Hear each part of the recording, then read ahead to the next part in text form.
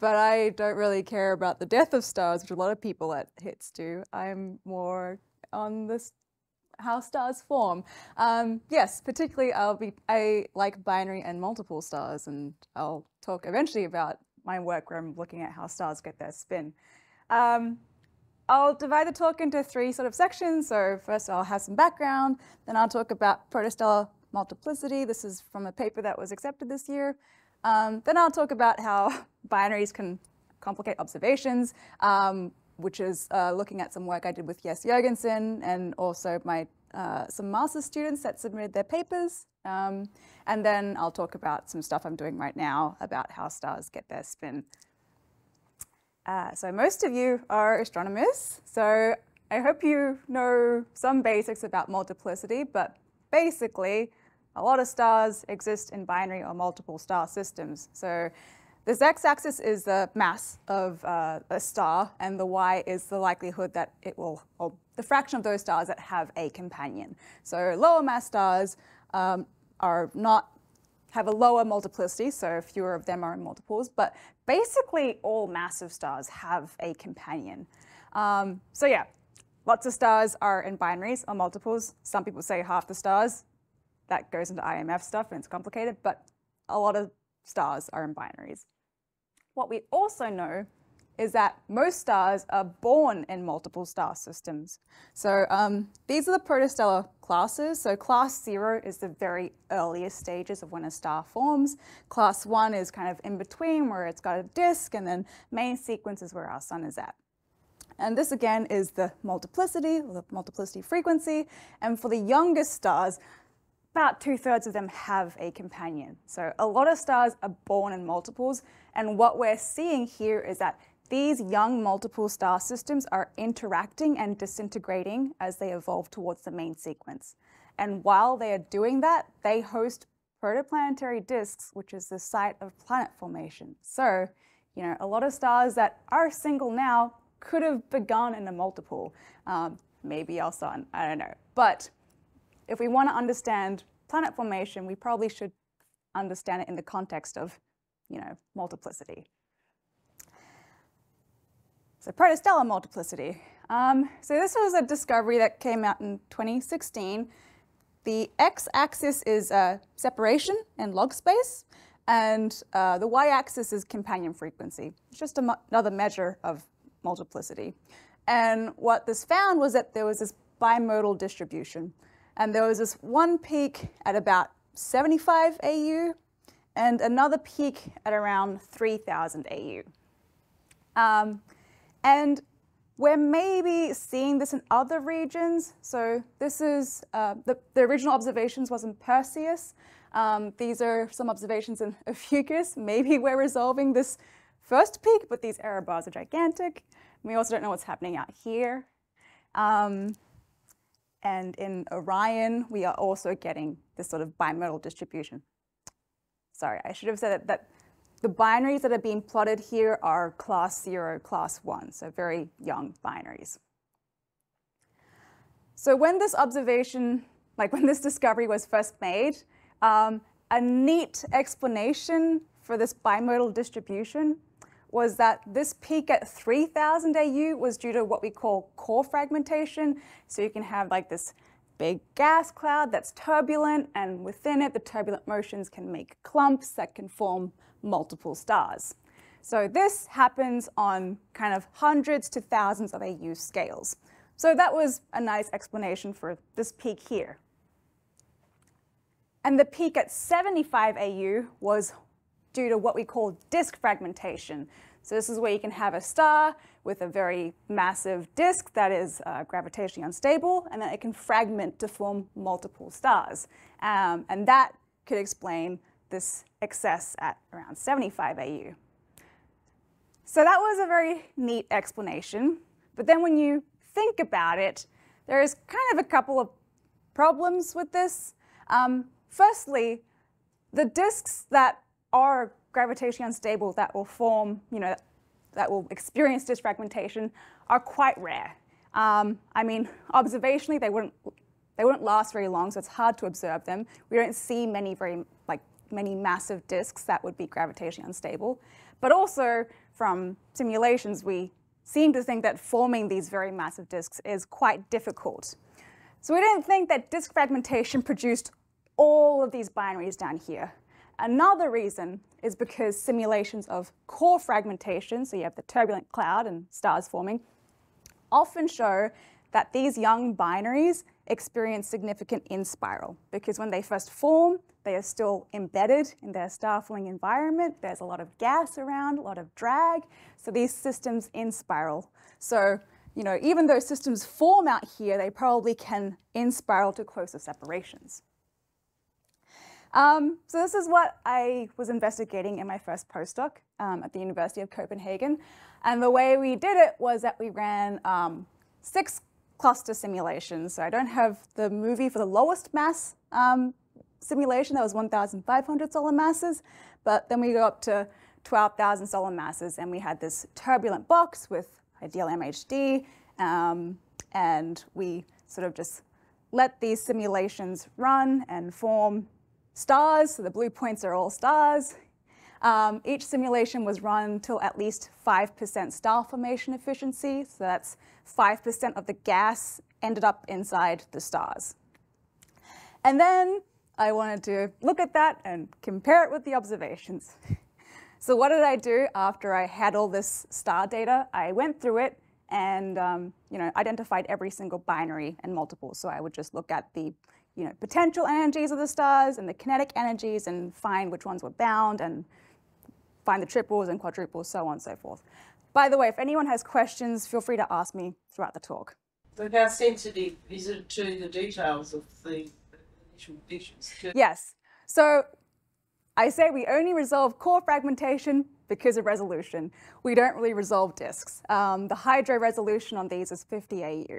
But I mean, it, it, what happens, what you get out, depends on what you put in. So your initial turbulence um, structure, you know, will determine how efficiently it makes stars. So um, the setup starts off with a uniform density, and then we have a turbulent field, and then we let that run for 20 free fall times before we turn gravity on. So yeah, okay. So statistically, we should run sim simulations with different random seeds. Yes, but those are very expensive to run. So um, we're hoping that because we just let the turbulence drive for a while, like we don't we don't drive the turbulence. We just put it in the initial field, but then it just mixes up things. So we're hoping that the initial conditions are basically wiped out. But, um, but yes, we should run a number of simulations and compare them statistically. Yep, definitely. Um, so after I went through this and uh, found all the binaries and multiples, um, I made a plot like this, which summarizes everything. It's very ugly. I'll, I'll walk you through it. So this x-axis is star formation efficiency. So you go from 0% to 5%. And the uh, y-axis is separation for the lowest mass simulation down to the highest mass simulation. And there are these gray lines you can see. I mean, they're overlapping up here, but you can maybe see them up here. Those are the separations of every single bound system that formed. Um, so that could either be like you know, two stars in the binary or the tertiary companion to an inner binary or two binaries. Um, but what we see is that, um, it's probably difficult from a distance, but we see that systems in spiral. So sometimes you get like these waves of in spiraling. Sometimes they level off here, sometimes they keep in spiraling further. Um, some of them in spiral um, faster than others. But yeah, it's what other core fragmentation simulations were showing that these stars can form at larger separations and then in spiral. I also have all these points everywhere. So the points are at the initial separation of a binary and it indicates the formation pathway. Um, so I identified three formation pathways in these simulations. So the first one is what I call bound core fragmentation. It's highlighted by the blue boxes. So you start off with this little cloud, the protostellar core, and you have one star forming and another star forms um, that is bound to the first one, like gravitation at birth. Then there was unbound core fragmentation. So you can have the system, a star forms, it's technically unbound, but this is the system that it has the lowest energy with respect to, so it's the one it's most bound to. And later on, it actually becomes bound to that system. And then finally, there's dynamical capture. So when a star is born, um, it's not bound to anything, um, but this is the system it's most bound to, but it actually gets captured by something else. So the different color points, the red, blue, and purple, sort of happen all throughout the simulations. Um, in the paper, I go into statistics of the formation pathways and their inspiral rates, so you can go have a look at that. But I uh, want to focus on the comparison with the observations.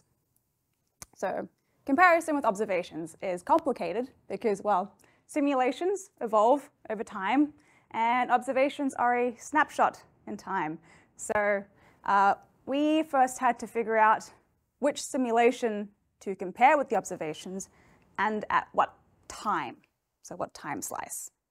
Um, so I will try and go through this very quickly. The details are in the paper, but um, Perseus, the, the star formation we want to compare to, has a it's about 3,000 solar masses, and the volume is uh, you know 54-ish parsec cubed, and our box was 64 parsec cubed, so not that different. Um, and we had a couple of simulations with masses similar to this. Uh, then we want to, you know, narrow it down further and pick the simulation that produced the same number of visible stars. So what I mean by visible stars is that um, stars that had accretion rates greater than 10 to the minus 7, so that means they were probably young, so class 0, class 1. And um, we just assumed that the luminosity was dominated by the accretion luminosity. So the luminosity limits of the Tobin paper was um, greater than 0.1, and they had they said they could observe up to 120 solar luminosities, but the most luminous object they had was 55 solar luminosities. So we used both of them. Um, and I plotted the number of visible stars, these orange and blue lines, um, over time. So the dashed line is a number of stars that the Tobin paper had, um, and the black line is a total number of stars in the simulation. And we found that this simulation kind of produced a similar number of visible stars to the Tobin et al. paper, so that would be a good one to compare to. So great, we have a simulation, but what time do we want to compare it to? Um, for the various reasons, I looked at the literature um, from observations and came up with a characteristic star formation efficiency of 4.2%. So we decided, yes, let's look at 4.2% and compare it with the observations. It's a very loaded phrase, compare with observations. A lot of specifics. So yes, there's a lot of different ways we could do this. Um, there's a few different checks that I could use. So, um, you know, the simulations are in three dimensions, but observations are two dimensional. So maybe I want to project into 2D. That's a good step. Um, a bound check. So I only plot systems that are actually bound in the simulations. But with observations, you can't really see or figure out if a system is bound. You're making some assumptions based on how close they are on the sky. And then um, whether I apply the luminosity limits to just trying to look at the, the, uh, the young stars. So these are just different configurations of these checks. Um, but 2D bound is the one that's closest to the observations. So what does it look like? Um, so it looks like this.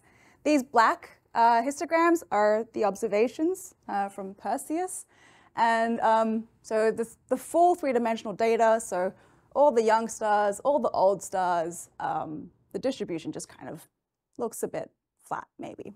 But if you add the luminosity limit, so you're only looking at the class 0, class 1 stars, you get this peak around 75 AU yeah, and maybe there's a valley here, another peak. That was actually kind of surprising. Um, when you project that into two dimensions, yeah, you, the, the peak at larger separations is washed out a bit just because of projection. And yeah, this one looks at unbound companions. You can read about that in the paper. But um, we were very surprised that we kind of sort of got a bimodal distribution and we had a peak at 75 AU. Um, so we wondered if there was a better time to match with. We did a KS test because it's not so concerned about the actual value of the distributions, but the shape. Um, So um, we did it for the different luminosity limits, um, so up to 120 solar luminosities of 55. Um, and this black line is a critical value, and if the KS statistic is below that, then it's a pretty good fit. And we see that actually the fit varies as the simulation evolves. Um, but the best fit we got was at 4.1%, which is very close to our initial fit. So when we plotted at 4.1%, um, we got an even better fit. Well, yeah, of course, that's what the KS test suggested. But um, yeah, the distribution's kind of whatever when you look at everything. When you only look at the class zero, class one, we get a peak here, and we get a valley, and we get another peak here. Um, when you project into two dimensions, it's, yeah, it's still there. Uh, and we were honestly quite surprised about this because the main thing we want to answer was how many of these closer binaries are formed through core fragmentation, but we're actually getting this bimodal distribution. So if we had disk fragmentation as well, it would just enhance the companion fractions up here. So yeah, we could sort of reproduce the observations. But I said before, we're seeing this feature, the bimodal feature, in possibly multiple star-forming regions, which might tell you that it's a long-lived feature. And from our simulations, so this is just the, the 2D bound, um, this is just a movie of how this histogram evolves, you will see that there are waves because systems form further out, but then they in spiral. Um, so it's evolving, as you saw with the KS test. And the feature kind of pops up around 3.9%. 3.9, there we go. And then it's gone by like 4.3%. So it persists for about 52 kiloyears. Um, and I'm not sure uh, how to kind of make sense of this because you know in our simulations the bimodal distribution was transient, but if we're seeing it in multiple star-forming regions, maybe it should be a bit more persistent. Um, yeah, so I'm still trying to make sense of it. I did talk to some observers and they were like, oh, yeah, all these star-forming regions are probably about 4% star formation efficiency. So I don't know, maybe this is something that pops up there. Um, the, the main takeaway is that um, systems that form through core fragmentation experience significant in-spiral.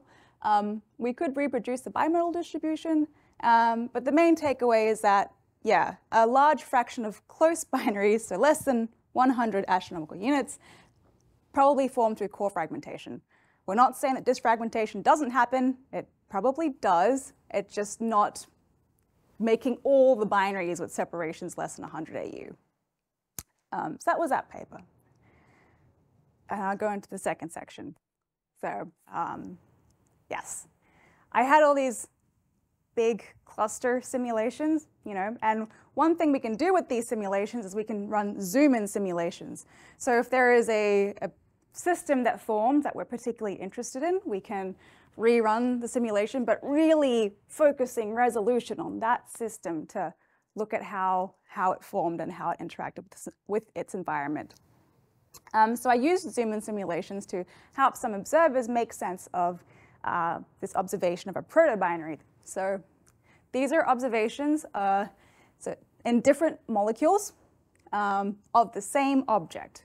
Uh, this is the primary star of a binary, and this magenta line is where they think a disk should be based on VLA observations.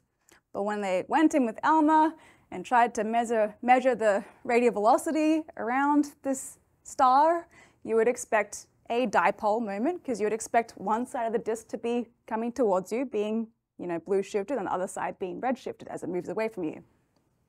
But what they found was this kind of funky quadrupole moment where you kind of have two red shifted wings and two blue shifted wings, and it was popping up in all the molecules basically that they were observing in.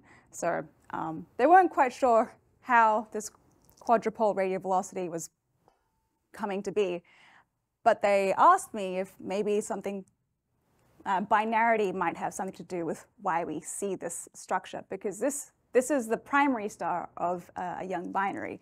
Um, so I was using my zoom-in simulations to try and, again, compare with observations, which is complicated. Like I said before, simulations evolve over time. Observations are a snapshot in time. This is a bit more complicated though, because radial velocity is dependent on where the observer is. So what we knew about this binary was we think the primary was in the foreground, the secondary was in the background, and it has a projected separation of 200 AU. So there's an infinite number of vectors along this cone that will produce a projected separation of 200 AU. So I just picked eight of them and tried to make some synthetic observations. I had four zoom-in simulations. Um, I, uh, so this is sort of what the observations show. It has a companion down here. Um, so this is the column density from the simulations, and uh, I just convolved it with a Gaussian beam to sort of make it match better with the observations. This is the radial velocity. I apologize. The color bar is not colorblind friendly, but yes, the red shifted is, uh, the red part is red shifted, blue part is blue shifted. Now the video is going to look a bit disorientating because the projected separation is fixed, but you see, you know, when you have a disk, you have this nice dipole because the disk is spinning like this. But then as the binary sort of interacts with each other and they pass periastron passage, um, the radial velocity signature can start to get pretty messy. Did you have a question? Well, it was a bit quick. Yes. Yeah. So, uh, I yeah, it's it's quite quick. Um, so there were 36 movies, I guess, I made from this. Uh, and what I did was I went through them frame by frame to just sort of find some candidates that popped up with a quadrupole moment, and I gave that to the other authors, and they ranked it, and we kind of decided that these ones on the left were some of the best candidates. Um, so what you have to remember is that, you know, I calculate RV all the way out here, but you really should just like focus around the primary. Um, so this is our better candidates, these are our worst candidates, but at some points in the orbit, you sort of get a quadrupole moment near the primary star. Um, so that was interesting that we could get this, but when do we get it? Does it have something to do with the binarity of the object? So I, I plotted some of the um, characteristics of the binary. Um, so yeah, we had four binaries, B1, 2, and 3, and B1 star was just a high resolution run of B1. And the top, we have separation over orbit number. Here's an orbit number. This is the accretion of the, uh, the system. And uh, this is eccentricity and disk size. But um, yeah, B1 and B3 were lower mass binaries, closer to what we think the observations were. So the observations think it's maybe like one solar mass-ish total. These were also low mass binaries. B2 happened to actually make a more massive binary. We didn't think it was the best match uh, or best comparison for the observation. But uh, the circles are when we got the matches. So for the low mass binaries, we're kind of getting better matches near periastron, sorry, sorry, near apastron at their widest, and their widest separation was actually about 200 to 300 AU. But for the more massive binary, it, yes, there was one at apastron, but it was also happening at other times. Um, so we're not quite sure why. So how close do they get in units of the size thing? Uh, units of the size of the protostar? Uh, I mean, from our simulations, they get within tens of AU of each other. But not enough to tidal distort. Uh, it would disrupt the disks. Yeah. So, um, yeah, you can see that, uh, especially in the lower mass binaries, that the, uh, the accretion is modulated by the orbit, like you kind of have this uh, you know, the accretion is suppressed, but then it's enhanced and suppressed. Um, so this episodic accretion could be playing a role because every time it accretes, it, you know, uh, mass is being dumped from the disk onto the stars and you have an outflow being lodged. But yeah, maybe the binary orbit has something to do with why we are seeing these matches near Apastron. Um, so I went back to the movies and really looked at them from all three angles to try and figure out where the different radial velocity contributions were coming from. So this is the velocity field, because you can see that there are accretion streams that are bringing mass onto it, and then there are bridges that can form, um, and then there is also outflows that are launched yeah, that can also produce their own radial velocity signatures. The video goes on for a bit, but you can look at them on my website. But I, it really was like a crime scene investigation to look at these systems from all different angles to figure out what was going on. And um, we have a model. It's a bit messy, so I don't know how good it is, but everyone else was happy with it. Um, what we see is, yes, we have the primary in the foreground, the secondary in the background, and we think that we're looking at it mostly face on-ish if we're catching it at apastron, and this is separation at apastron is like close to the projected separation. But yeah, so these objects are moving around like this, and um, you know, outflows have been launched when you have an accretion burst, but they're also being dragged along the orbit. Um, so we, saw, we were seeing this in the movies. So you have these outflows being launched probably near periastron, and they're being dragged along the orbit, so the outflow lobes are being kind of tilted.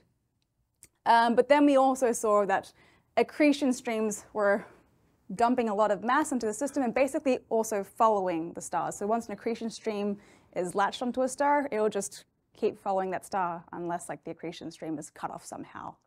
So we think that that was also contributing a lot to the radial velocity signature. Yeah, so that was that work. Um, that work actually inspired the work of my master's students. Um, in Denmark, you can do a weird thing where you can have a collaborative thesis. Uh, so I had three master's students um, building on this work. So Vito went into the zoom-in simulations and was measuring their disks and um, how they formed. Uh, was actually using radiative transfer to produce uh, synthetic observations, unlike what I did, which was just comparing the density from the simulation to the observations. And then Rami was using machine learning to match the observations with the synthetic images, unlike what I did by eye. So they submitted their papers and we have their referee reports back and we have to resubmit them. But one of the results I found quite interesting um, was this, so I'll explain it. You have uh, the primary, secondary, and orbit, and these are different uh, viewing angles. So face on means it's a viewing angle of the primary's disk. So if you have the primary with its disk and you're looking over here, uh, face onto the secondary's disk and face onto the orbit, and then you had sort of two edge-on vectors. And um, what this is plotting is, so time zero, uh, moving up, is the uh, bolometric temperature. Uh, so the bolometric temperature is often used to sort of classify the evolutionary stage of these young stars. Um, and yeah, there are these dividers. So there's this red line here. This is a divider between class zero and class one.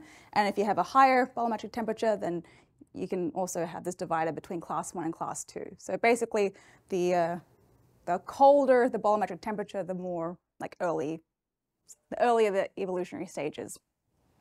Um, and the blue points kind of say are at uh, periastron, the yellow points are at apastron. So if you see a little stripe between blue and yellow, that's one orbit. And what we see is that for when you're looking at the system more face on, um, the classification of the star can change quite dramatically depending on when you're looking at it. Because it can go anywhere from a class zero to where it's very embedded to a class two. Um, and that's probably because because of the binary orbit. So when they're going near periastron, the disk is being disrupted, it's more exposed, but then at apastron, the disk is being built up again, they become more embedded.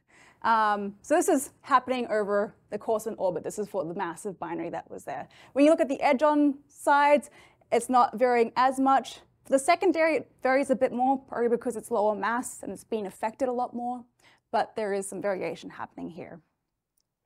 For the lower mass binaries, um, so this one is showing some large scale variations um, over multiple orbits, and that's just probably because the environment around the star is changing quite a lot. There could be an accretion stream that's sort of getting in the way of these viewing angles that's really making them look more obscured, but then it's disappearing and you can see it a lot more.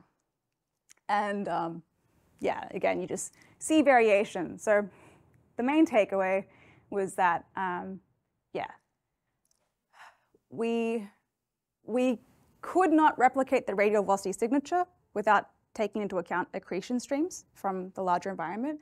And basically, binarity can complicate observations. Uh, it depends on where you're looking at it and when you're looking at it because this evolutionary state of an object can change quite significantly over the course of an orbit. Any questions before I go on the last part? So physically, we figured out sort of what's going on when you, uh, why you get this quadrupole signal? Yeah, so the quadrupole was like, yeah. So. But so I'm just, I saw that, but how can you sort of tell us where are we seeing that? Um, yeah, so I think what we're saying, seeing is that the disk contribution isn't significant and it's mostly just like the outflow lobes being dragged along and these accretion streams. Why, if you've got outflows, you know, jets this way, that way, yeah. why do you see quadrupole? Um, you know, that pollution. Yeah, that's why we've also paired it with these accretion streams that were following the stars. So um, that's again sensitive to the environment because like maybe there isn't an accretion stream coming from this direction, but um, in our movies it looked like accretion streams were contributing a lot to the radial velocity signature. That's why I'm like, I don't know how I feel about this model. The other authors were okay with the model. I don't follow it. Is is the claim that the system spends 100% of its time in a state like this, or can you quantify what fraction of its time it spends? I mean, I think we'll what we will find the matches at apastron. So it probably is. Maybe we see this more at when it's further apart than when it's near periastron. Um, and yeah, we just might have happened to observe the system at apastron. But that makes sense for binaries. You're more likely to catch them when they're at apastron because they spend more time there than at periastron. Um, but this binary is, yeah, like I said, projected separation of 200 AU. Its orbital period is probably quite large. So I don't think we'll be able to catch it at any other point in, um, in the orbit. Um, yeah, should I go on to the last stage? Okay, I will. So this is some stuff I'm doing right now. I will warn you it's very preliminary, but I'm looking at protostellar spin. So stellar spin, what we know, um, so this is the um, Sinai, so I guess the velocity on the surface, or how far they spin. Basically, it measures spin uh, for, and this is the, uh, the spectral type. Uh, and what we see is that lower mass stars generally have a spin slower than high mass stars, and that's because of the Kraft break, when the, uh, the star kind of goes from a convective core to a radiative core. But yeah, massive stars spin quite fast, low mass stars, not really. And um, what we expect with uh, low mass stars is after the first phases of star formation, you know, when they accrete, after they lose the disk, we expect the star to kind of keep contracting slowly, but also to keep spinning down because of um, winds that come from the star. So, yeah. Um, so Marina Kounkel was looking at um, stars and TESS um, from quite young, so a few million years to like 100 a gig a year, I think it was. Yes. Uh, looking at their angular momentum. So L, in this case, is angular momentum. And this is just the effective temperature. And what you see when you look at the, you know, the oldest, the younger stars, and you go to the older stars, you get this nice gradient where stars you know, they have a higher angular momentum, but then they spin down very slowly uh, over the course of their life. But this was ignoring um, some uh, a class of stars that she found called fast rotators. So these were all single stars. The fast rotators were um, stars that had rotation periods of two days or less. And she did some fitting to figure out the likelihood of them being a binary or a single star. So the main sequence was a single star, the binary sequence was a binary star. And what they were finding was that these fast rotators were seemed to overwhelmingly be binary stars with a companion that's at tens of AU away. And she asked us whether um, the fact that they are binaries has something to do with why they're fast rotators. So a few mechanisms about um, yeah, angular momentum evolution in disks. So when you have a young star, you have this disk, and um, protostars can lose a lot of angular momentum because there's disk locking, which forces the, the star to rotate at the same rate as the inner disk. So then it has to slow down, and then angular momentum is being lost through, through jets and outflows. Um, but then, yeah, after the disk is dispersed, you have magnetic braking that will slow them down some more. Um, this is a model that we have. And we tested it observationally a little bit, I guess. So Serna et al. was looking at um, spin of stars from very young ages to, yeah, 20,000, uh, say 20 million years. These blue points are all just different stars. Um, and they were trying to fit it to two different models. Um, so the yellow line was a model of a star's spin, assuming that there was no disk uh, ever. So the, the, the, star would just sort of keep contracting and conserve its angular momentum, and the spin would just increase.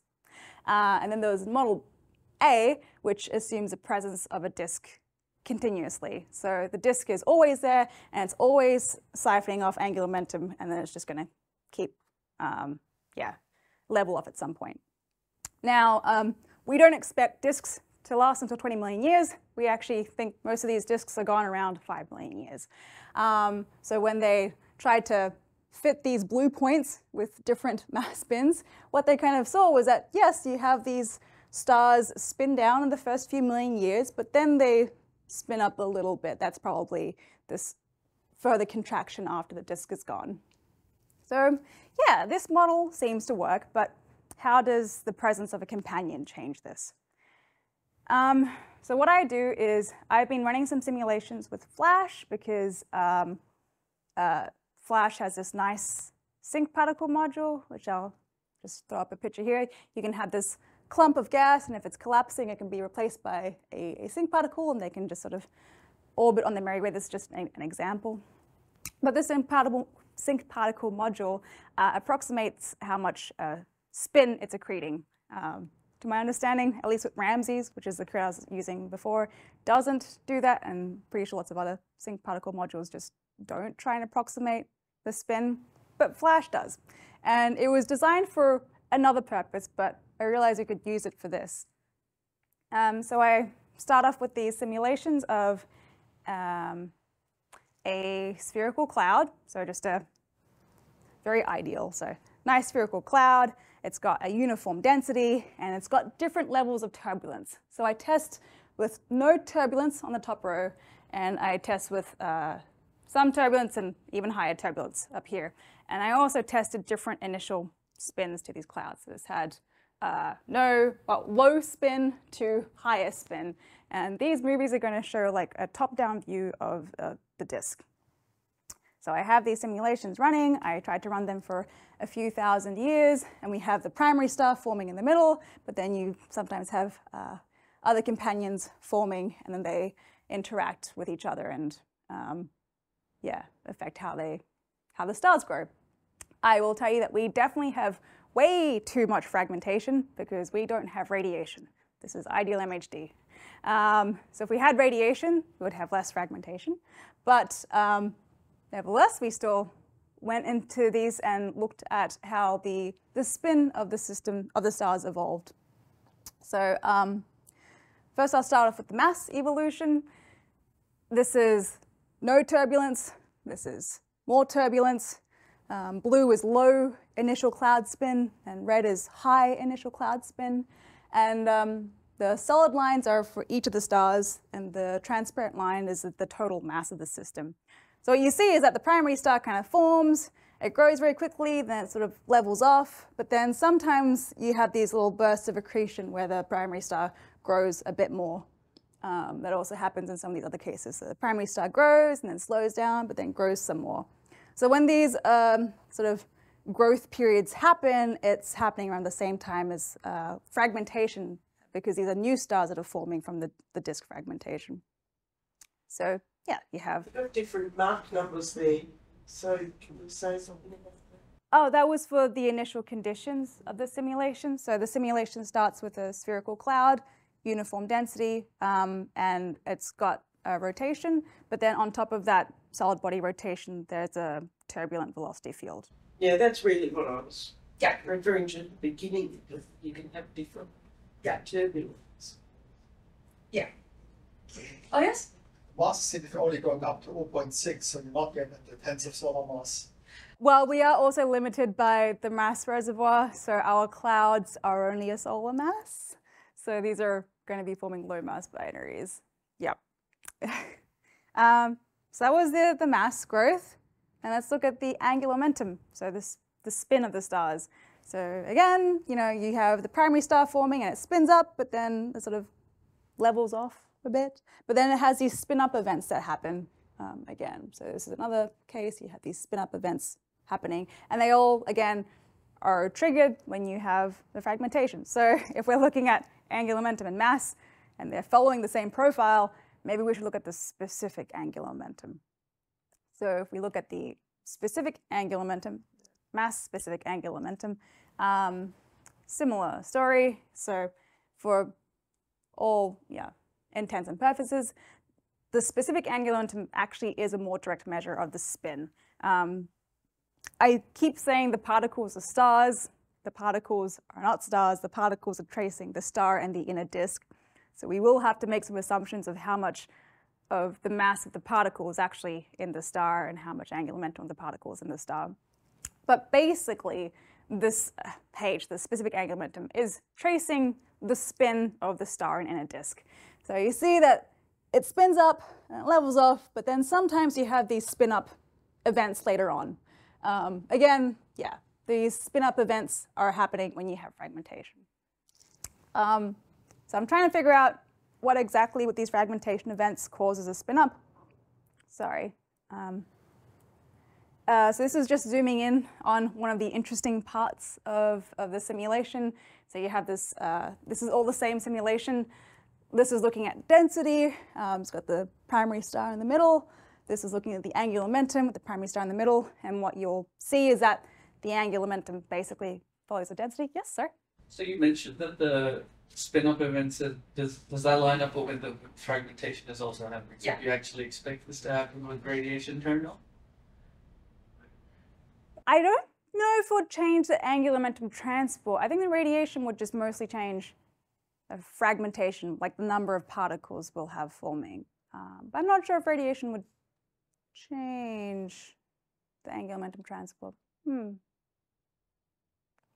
I'll have to read about that a bit more. um, yeah, so this is density and angular momentum, but this is the specific angular momentum. Um, and I have these contours just kind of tracing different um, uh, specific angular momentum levels. So you have high angular momentum material and it gets lower and lower as it goes closer to the primary. And um, what I'm finding is that, yeah, you have these spiral arms that are being triggered by the companion like fragmentation and it's kind of transporting high angular momentum material inwards. But when you look at the specific angular momentum movie, like that doesn't, the distribution doesn't, doesn't change very much. Ah, um, so I'm still trying to figure out, okay, I can see this high angular momentum material going into the middle, but why is the star spinning up? Um, it is also very difficult to see from these projections what exactly, like how exactly the sink is responding to what's going around it. But I'm still trying to figure it out. So um, yeah, again, very preliminary plots. um, so I made a disk uh, volume just around the primary star, radius 20 AU. And I, within this disk, I was just measuring what the angular momentum and specific angular momentum of the gas is. So um, this is for, yeah, this wasn't very well plotted. This is the low spin simulations, the high spin simulations with different Mach. So blue is no Mach and green is high Mach. And you see for the angular momentum, at least within the inner disk, um, you get these, it's varying quite a bit, especially the gray lines is when where the nearest companion is. When you have a companion forming, you have the angular momentum kind of in the inner disk also responding to that and growing. Um, so in this case, you have a companion forming and then the, the angular momentum in the inner disk increases. So it looks like, yeah, when you measure the angular momentum, it's responding to the formation of a companion. But When you look at the specific angular momentum profile, it just looks pretty steady. And I can't figure out why. And I'm just trying to really understand where my stars are getting their spin from. So uh, this is stuff I'm still working on, but basically, when you get fragmentation in these disks, you get these spin-up events. So maybe that could lead to these fast rotators that we're observing, or it could at least contribute to that. Um, yeah, so that's the, the main takeaway that I have right now. This is work in progress. And I'll leave it there.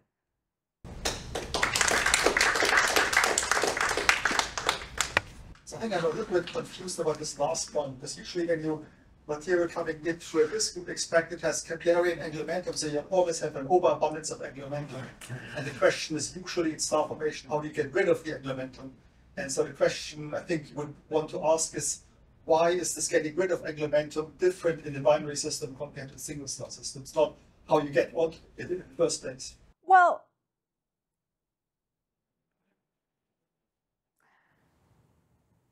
Yes, you have to lose angular momentum to get material into the inner disk to be accreted. But when you actually think about the star and the stuff that's falling onto the star, a star can accrete a, a packet of gas with any angular momentum up until the breakup speed. So it can. There is a, a large range of angular momentums that the material uh, that, that, the star can accrete. So I guess maybe in the single star cases, it's accreting more of this low angular momentum material. But in these binary cases, it's creating higher angular momentum material. It's not so high that it's beyond the breakup speed, it's just higher. Quite more the coupling of the, of the the disk, that kind of magnetic coupling that breaks these stars down. And so in a binary system, you may be distorting this disk and therefore disrupting the process that, that allows the stars to get rid of them. Oh, definitely. That could also be playing a role. Like, you know, the models kind of show that disks are important for losing angular momentum, but if you're in a binary, these disks are truncated and probably can disappear faster. So that means like the, the time scale for spinning down due to disks is truncated in binaries. Um, so that probably does also play a role. Yeah. Yep, yeah. So, so many things I can be doing with all this data. Can I ask you about your master's students? And yep, I think it's a really nice idea. If I look at that, doing that over the years, having them collaborate. You've got them each on a different part of the project. Yeah. So that they, they've each got to pull their weight. And Yeah. did you find they did? How did, how did you? Um, yeah, so uh, they we got them at the same time, and um, so I was officially co-supervising them. I also had Joel's, and we had this problem. We sort of identified three different sections to help them out. I will say that like two of them had a more obvious project, and one of them not so obvious, and I kind of had to really help him figure out what exactly his role is. But um, there was a general pipeline that you know the the radio transfer of synthetic images and the, the quantitative measurements of disk and stuff, that was the metadata, those will both feed into the machine learning pipeline. And it was actually quite nice because they worked together about, you know, what kind of outputs do I need to produce to, for the inputs of the machine learning. And um, it was a really interesting experience. So you, you want to make sure that they're, they're competent in each. and- I mean, like if you gave one of them a whole lot of maths, that, that's not their Well, they approached us with their interests and we worked with that. Okay. Yeah. And if you've got a slacker in there and the others, you know, that's, it's always a problem. Thankfully, none of them seemed to slack off. You know, there was their master's writing on it, and it was a small enough team that, you know, yeah. Yeah, no, but the, the general, you know, general work is, uh, really interesting. There's, there's so much to do, isn't there? There is, and I now understand the appeal of having students because there's lots of interesting questions that I have. it would be good to give them to students. Yep. Any?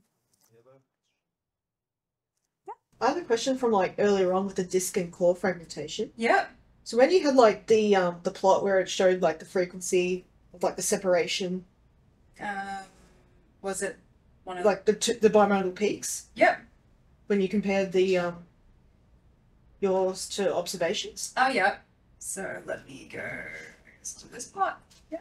Yeah, something like that. So based on the observations, how like what fraction of these of the the um the closer peak do you expect to originate from the disk, and what fraction do you expect to originate from the So that's what we were hoping to answer, actually, because we, we thought that we'll get like a, a flat-ish distribution here, and then we could just be like, okay, any excess is due to disk fragmentation.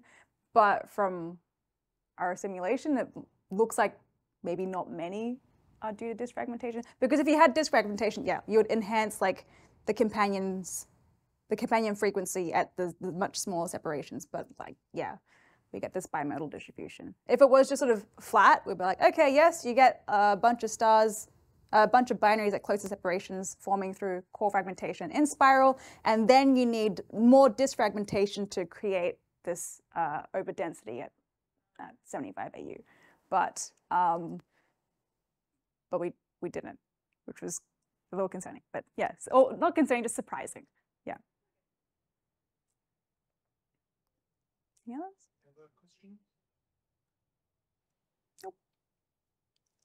I sort of, I sort of got talking about here. um, thing. Um, just um, you just sort of speculating. But um, what would happen if you added planetary simulations? And, um, could a planet explain some of the behavior? Maybe. So in our high resolution simulation, we only get down to 0.8 AU. Um, the standard resolution for these was 2 AU, like a bit under 2 AU. So like if there's a planet that's, you know, much closer in, could be, we're just not resolving that. I'm not sure. Yeah. I hate to be the saga type.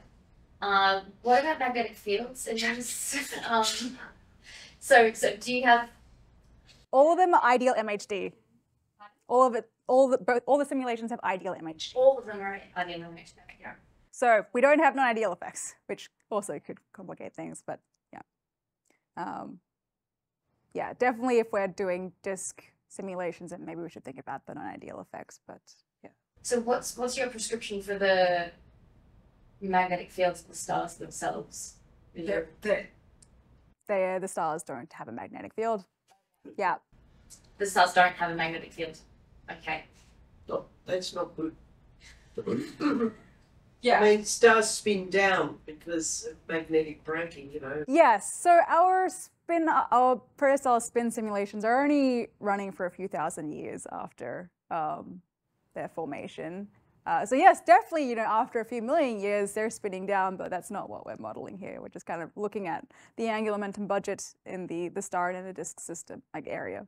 Yeah, and hopefully we can learn something about how stars spin up. It's but definitely, yes, later on, you need magnetic fields inside the star. So there are other groups that are actually simulating stars with magnetic fields. But we are more, con- to us, stars are point sources. Uh, But you're after they spin. yes, yeah, we are. Um, this is the this is where it's complicated. Yeah, because the star itself, you know, it has it's a few solar radii, like well, one to two solar radii for a protostar, right? Uh, but our simulations are the resolution is on AU scales, so yeah. Well, we're just they're two different they're two different scales. So for our work, that's why the stars are point sources. But we are still hoping to learn again about how the stars are accreting and the environment nearest to the star. Yeah, that's that's why we have to make a lot of assumptions about how much of the sink particle mass is actually in the star, how much of the sink particle angular momentum is actually in the star. So these are these are assumptions that we do have to make, and they are definitely caveats. Yeah, and we have to be careful about how we approach it. So at this scale that you're looking at, the actual, the large scale field of the stars is still too small compared to the overall. Yeah. Okay. What kind of magnetic field strengths do you get in these sorts of regions? Interactions, like what? I haven't actually measured. I do have that data. I just never looked at it. Um, I mean, with the zoom ins, you do see, and even on the other simulations, you, you do see the spin up, uh, the, the winding up of the magnetic field, and we get self consistent jets forming. So you do, we do get, we do simulate that magnetic field amplification. Um, I just haven't measured it, that's all. How does that compare with what we've observed observations of? Uh, haven't really compared outflows with observations, but they look quite reasonable. They don't have any odd behavior, so yeah. But that could be another project for someone to do.